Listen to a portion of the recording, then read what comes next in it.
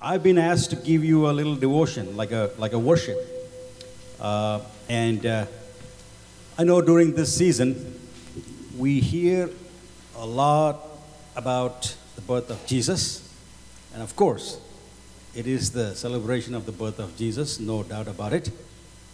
And uh, this is the season that uh, we decorate our homes, we wear nice clothes, there are so many things, good food, many, many, many things happen. I was always fascinated uh, to know about the Christmas tree. I always want to know why a tree is put during Christmas season. Have you ever thought about that? You know, we understand the manger, we understand the nativity scene, but what is the reason for a Christmas tree? In the Bible, in Genesis chapter 2, what does the Word of God say? God created this world, and when He created Adam and Eve, uh, He created a garden, a beautiful garden, correct? And uh, He planted a tree. That's what the Bible says. I need to get to Genesis chapter 2 and verse 8. The Lord God planted a garden eastward in Eden, and there he put men whom he had formed. And out of the ground the Lord God made every tree to grow that is pleasant to the sight of God. And the tree of life was also in the midst of the garden, and the tree of the knowledge of good and evil. So there is a special tree that we all know of in the Garden of Eden. There was a very special tree. We know about that story, right? And the test of Adam and Eve's faithfulness was strictly based upon this one fruit from this tree. The entire fate of the human race was based upon this one single fruit from this one single tree. Wow, imagine it. Look at it. God made this perfect world, perfect creation, perfect universe, angels. Everything was there. And Adam and Eve could have anything they want, they could do anything they want to do, they can go anywhere they want. Everything was given. No questions asked, except for this one single fruit. What does the Bible say? We go down to chapter 3. Very quickly, very quickly, Genesis chapter 3 and verse 6. It reads So when the woman saw that the tree was what? Tree was good. Yes, that tree was a beautiful tree. It had the fruit of good of knowledge and good, good and evil. And the women saw that particular tree was good. Of all the trees, of all the things God created, that one particular tree. Now, don't ask me why. don't ask me why. You know, when God says that one thing don't do, don't go near, don't eat that, that is the one thing that looks very good. Right? Just that one thing, the same thing. Adam and Eve could have gone into the universe, into the other solar planets, into the other solar system, anywhere, and they could have done anything they want. But they ought to keep away from this one tree and one fruit. Trouble starts.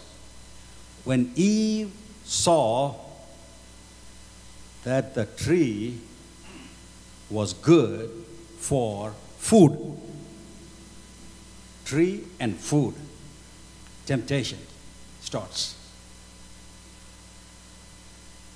It was pleasant to her eyes, and a tree desirable to make one wise. She took of its fruit, and what did he do? She?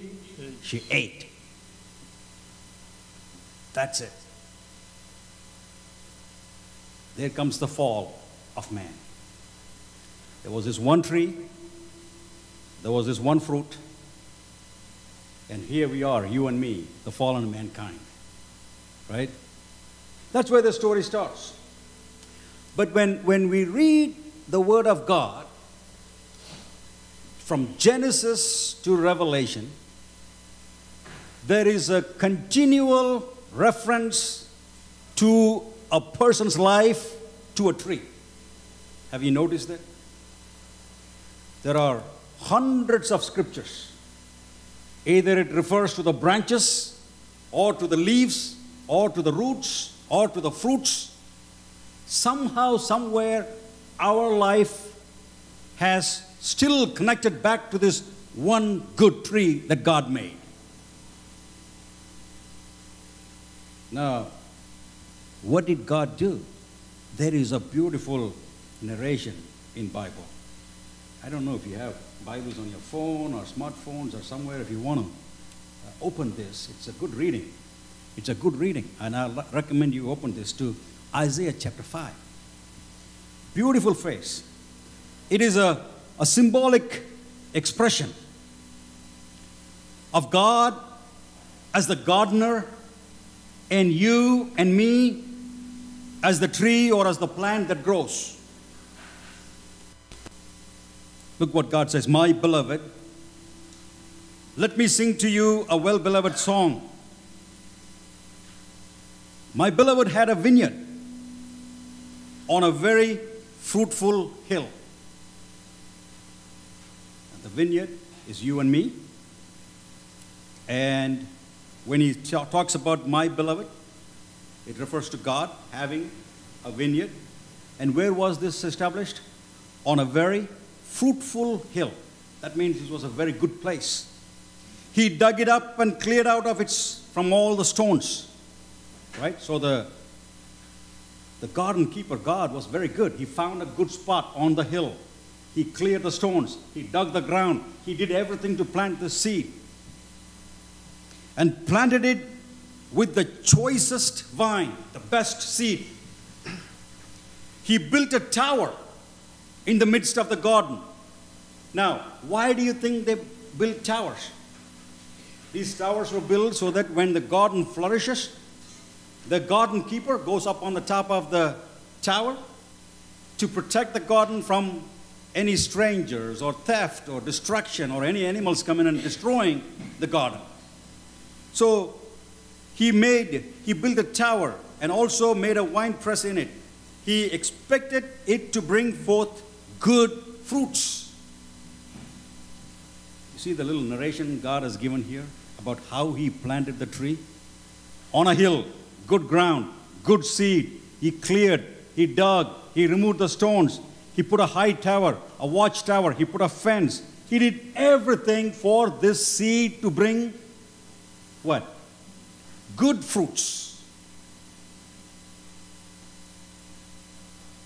Then the Bible says, What more could he have done to this tree? What more could he have done to this tree? What more could he do to this tree that I have not done? When then, when I expected it to bring good grapes, did it bring forth wild grapes? The gardener did everything that he can do to plant the seed on a mountaintop, a good ground. He dug the ground, he took the stones, he planted the best seed, and he was waiting for the best fruit. What more could I have done that I have not done as the Lord? And he was disappointed. Why do I have this bitter fruit? As we celebrate Christmas, as we think about the tree, I want you to ask this question that God is asking to each one of us What more could I have done for you? I've done everything for you. The Bible says they did not bring good fruits.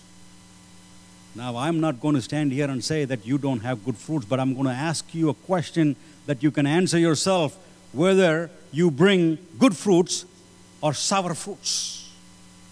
What more could God do to you? You know, this question is a rhetorical question. Their answer is within. It says, There is nothing more God can do. God has done everything. And the passage is very sad. It says, You know, what more could I do than I have done? When I'm expecting it to bring forth good grapes, did it bring forth wild grapes? And now, please let me tell you what I will do to my vineyard. I will take away the hedges and it shall be burnt. Because the Lord says, I've done everything that I can do, but I don't see any good fruits. You see, the tree in the Garden of Eden, the tree that one fruit that brought mankind down, your life, my life, God always compares to a tree, is a running theme in the entire book of Bible, in the Word of God. Now I was uh, reading about the Christmas tree, and, and in those early Roman Christian era, the first century, in order to explain the birth of Christ, they explained the fall of man. And they would put this big tree with all the fruits, and they will drag this tree around the town and enact the Garden of Eden and act like somebody ate the fruit and sin came in, and then Savior is born, joy to the world. So I'm also trying to give you the concept of how the tree came inside. The pagans also did the tree as a festive ceremony. They had branches hanging around the houses, fig trees, fig branches. And there, in the earlier days, in the 13th century or in the 12th century, the tree was not usually placed like this. It said the tree was usually hung upside down. The trunk was up when the branches were down, and then they go around and decorate the tree. So there were many, many different concepts of this tree assuring and putting a lot of good golden fruits around it, apples and the best fruits around the tree, bringing it into the house and recreating the tree that was there in the Garden of Eden, Eden before the fall of man. You see, today we decorate a beautiful tree and we put all the glitters and all the shines and all the lights and everything that we can do to bring joy and to bring that wow.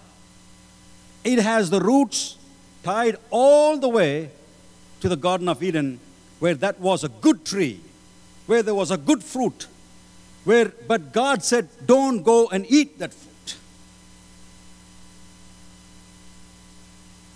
When He compares to your life and my life, He looks at every one of us one by one and asks this question What could I have done more with you in your life? I've done everything for you.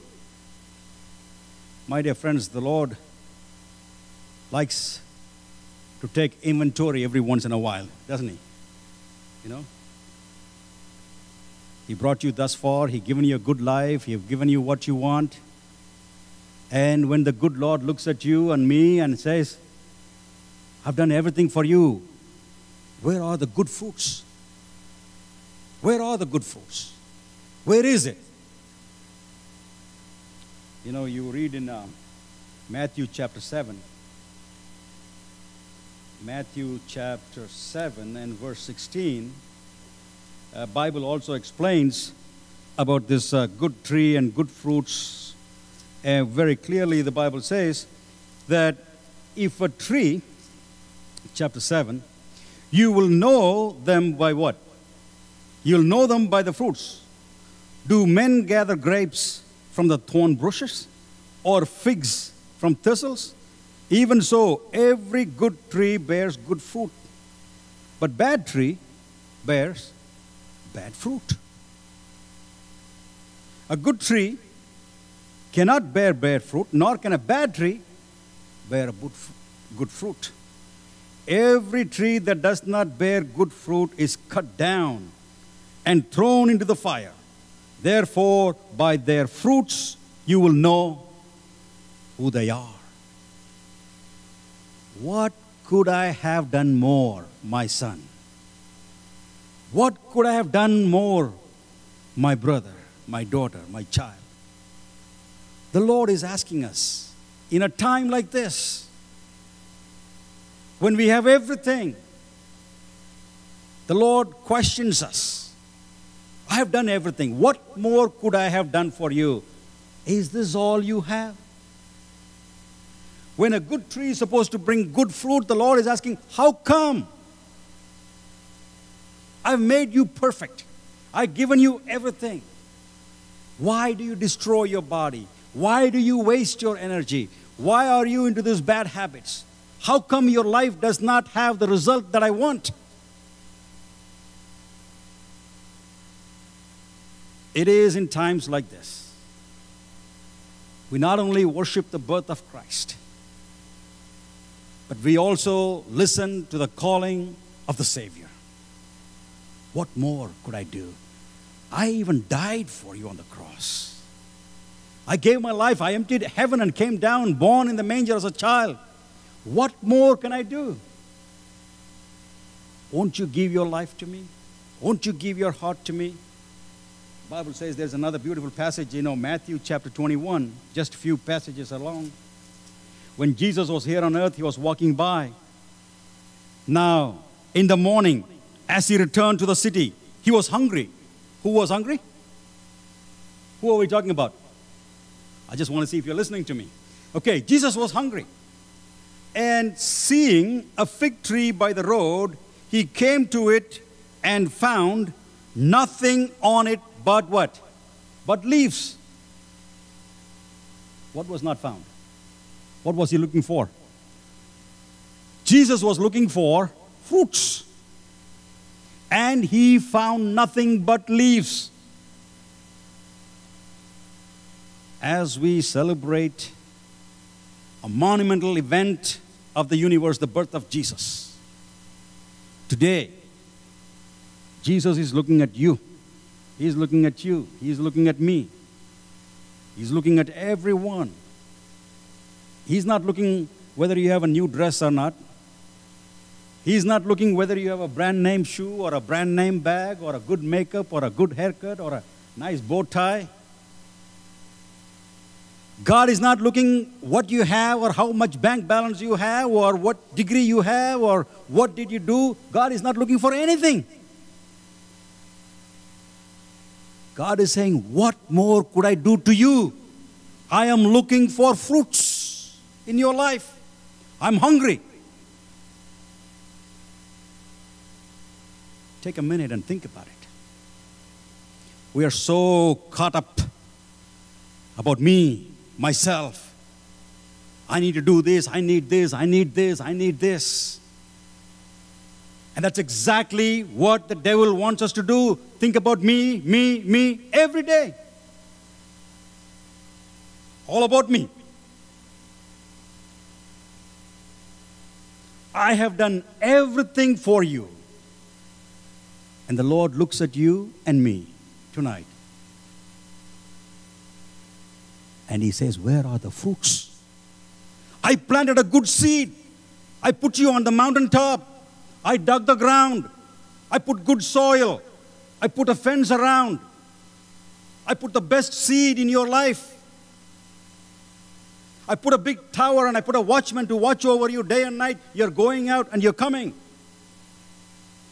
But I don't see no fruit. See, my friends, we not only celebrate the birth of Jesus, but tonight we need to celebrate the birth of the Holy Spirit in our life. See, that's the most important thing. That's the most important thing. Now, we cannot go to Jesus, to Bethlehem, to worship Jesus without the Holy Spirit. Many Christians today have been Christians for their whole life. Being baptized once by the Holy Spirit is not good enough. Word of God says that you need to be baptized every day, morning by morning, new mercies, new baptism, new renewal in your life. And then you will see the fruits, the fruits of the Spirit that the Bible talks about. Jesus says he was hungry and he found no fruit. Then he said, uh, he looked at the tree and Jesus was not happy and he cursed the tree, and the tree withered. Now, there is hope for you and me And this is not a message of condemning. This is supposed to be a season of joy. This is supposed to be a joy of happiness. And the joy is found right here. If you read that passage down, God says that I am going to do this for you. He says in, in uh, Matthew chapter 20, 21 and verse 19, He says, I am going to dig this tree around. You see, the Lord pleads here, saying, His, his servants plead and say, Give me one more year. Don't curse the tree. Lord, wait. I can guarantee there will be fruit next year. You wait, please. I will dig. I will put some soil. I will make sure that tree grows. Lord, if you will give me time and come next year, there will be fruit. That's what is Jesus doing with your life and my life. He's pleading in front of the Father, saying, Give my child, my son, my daughter one more year. As we turn to this new year, Christmas brings in a celebration of a new year, the beginning of new life, everything new. There is a Savior pleading for you and me, saying, That tree will be fruitful next year. Oh, my friends, doesn't matter how our tree has been in the past, but let us yield ourselves to the digging and the tilling and the tearing and the pushing of the Holy Spirit in our life so that our tree will grow and bring forth fruits. David says in Psalms 1 Blessed is the man. What kind of man he'll be? He'll be like a tree planted by the rivers of water and bring forth fruits in the due course of time. That's a Christian life. That's why we put a tree in our home. That's why we celebrate the joy of the fruits during Christmas. It's just not Jesus as a baby in the Bethlehem, but also to be a fruitful tree, a flourishing tree. That tree that we lost in the Garden of Eden is still remembered today because in Revelation chapter 22, Beautiful passage. Bible says that that tree will be one day by God's help regained. Word of God says, and the tree of life, it's a beautiful tree. It bore 12 fruits, each yielding fruits every month. And the fruits and the leaves were a healing.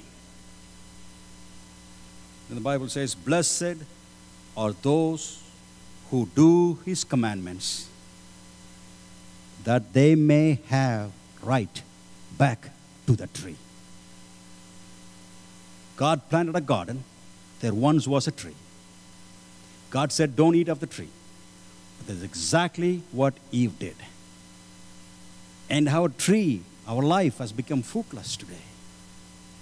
But that same tree, God says, Blessed are those who do his commandment. That's as simple as that keeping God's commandment, that they may have the right to the tree of life. My friends, my wish for you today, tonight, my Christmas wish is not Merry Christmas. I'm not wishing you for joy. I'm not wishing you to be happy. I'm wishing you to be fruitful. The Lord is pleading, saying, What more can I do to you? I've done everything. All right, give me one more year. Here is our chance. Here is our chance. One more year. Can we put aside the things that we should put aside? Can we resist the things that are hard for us to resist? Can we say no to the things that we should be saying no to and doing the things that we should do? And keep the commandments of God so that we will regain that tree, that fruit that we can eat and live with God.